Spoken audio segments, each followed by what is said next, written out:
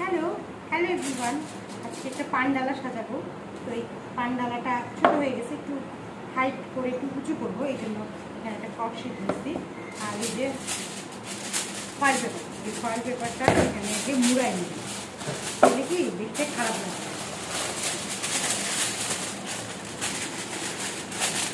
যে ক্যাটের ক্যাটের শব্দ। এগুলো কাটা খুব সহজ। অ্যান্টি কাটার থাকলে ফাঁস ফুস কাটে কেটে ফেলা যায়। কাটতে যায়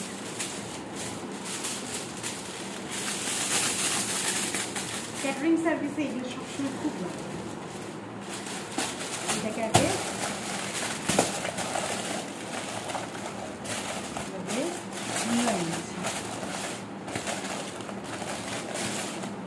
কোন